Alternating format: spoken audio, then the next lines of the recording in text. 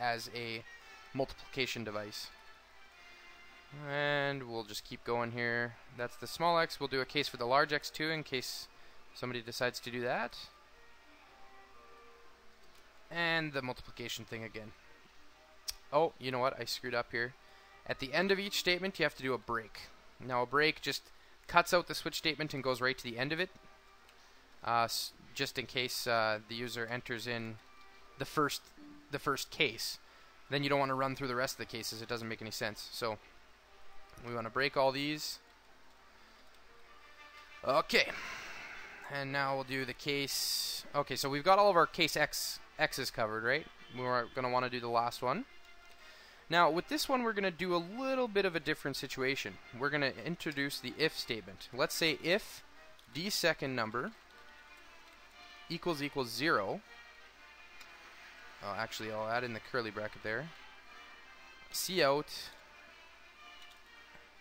that is an invalid operation. And L.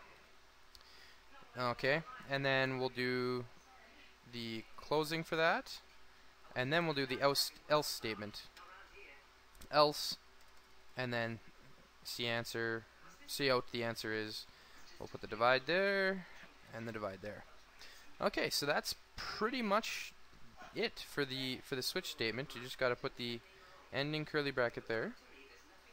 Uh, and then you got to put the end. Oh no, you want to do a default. I forgot about that. Okay, so default is like if they don't enter in anything that's appropriate, you would go see out um, that is an invalid operation.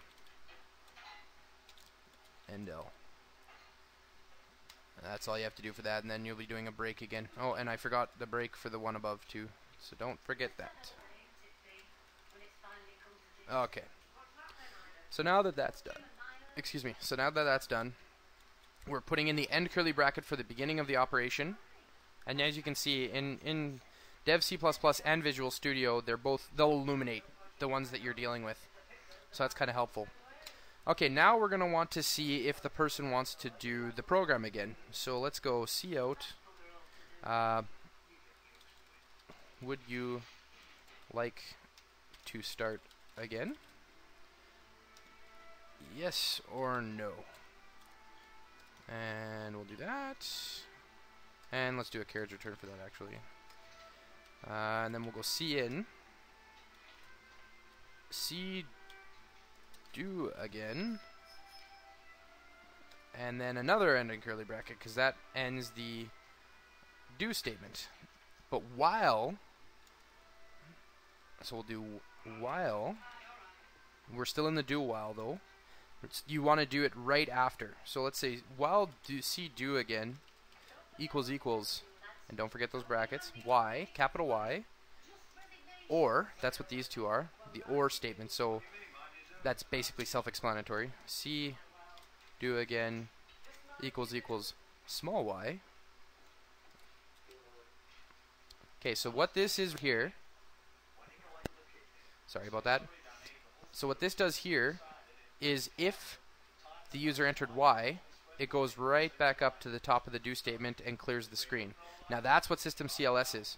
If the user decides to do it again, you don't want to see all this stuff happen again. Like it, they don't want to see, or you don't want them to see what they did the first time. So it'll clear the screen back to, please enter the first number you would like to use. That's what system CLS does. Okay, so now that that's done, we're almost done. If the user enters anything other than Y, so it could be N, it could be X, it could be whatever, you know, like the main idea is we want them to enter in Y. So we'll do the system pause.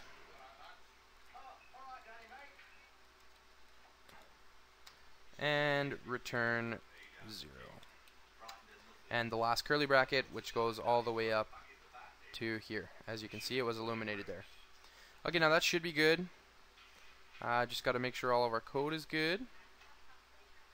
And it looks alright. We'll get errors if we uh, if we've done anything wrong.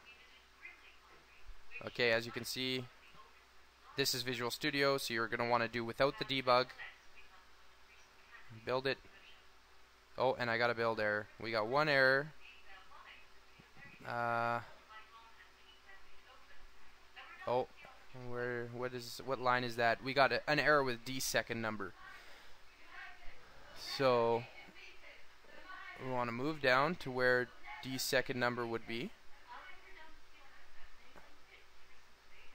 Uh, okay, you see right here, I accidentally put an E there. So that was our error. I'm going to save and start without debugging again. Oh, and I got another build error. Oh, looks like I entered it more. Oh, there's another one. oh, I did it to all of them. Look at that. That's not good.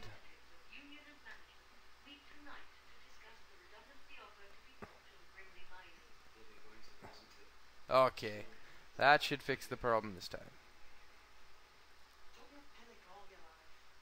Okay, we did get one warning, so I'm going to see what that is. Okay. Please enter the first number you'd like to use, and you can see the the colors are good, uh, the calculator is good on the top there. So let's go 12 plus. Oh, and we got a debug error. So we got an, an initialized local variable. Let's look at that really quick. Uh, I'm going to figure it out and I'll come back. Okay, silly me. um, I forgot to input the D second number here. CN D second number. So that was that was a pretty bad mistake there. But I mean that's what the whole point of debugging is, right? So let's see if let's see if it worked out this time. Okay, we got zero warnings. Everything seems to be good to go, so let's test it out here. Uh, let's go 12. Oh, plus 12. Okay, the answer is 12 plus 12 equals 24. Would you like to start again? Let's press yes. So as you can see, it clears all the way back to this first section here. Uh, let's go. Oh, let's go 12 divided by 0 that is an invalid operation, as we uh, put there. So that's where the if and else statement comes into play. Would you like to start again? But then if you go 12 divided by 12, you get 1. So every, it, it goes through that if and else statement, it checks it. If everything's good, it does what it needs to do. Uh, we'll do one, a couple more here. We'll do, let's do 12 times, oh, that's an invalid operation because 8 isn't a character. What about 12 times 12 is 144. Okay, now if you don't want to use the program anymore, you press no. And it's done.